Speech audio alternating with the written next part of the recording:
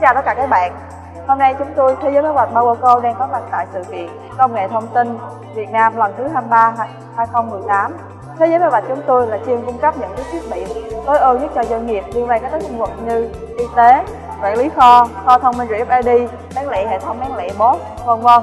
Sự kiện lần này thì chúng tôi đem đến cho các bạn một số sản phẩm tối ưu của bên tôi.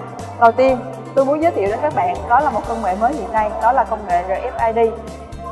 Công nghệ RFID thường dùng trong kho thông quản lý thông minh. Thứ hai, tôi muốn giới thiệu đến các bạn đó là máy kiểm kho. Dùng trong kho. À, và đây đó là máy in bill thường dùng trong à, các ngành hàng bán lẻ.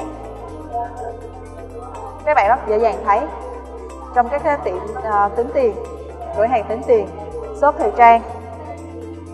Còn đây là thiết à, máy in mã vạch.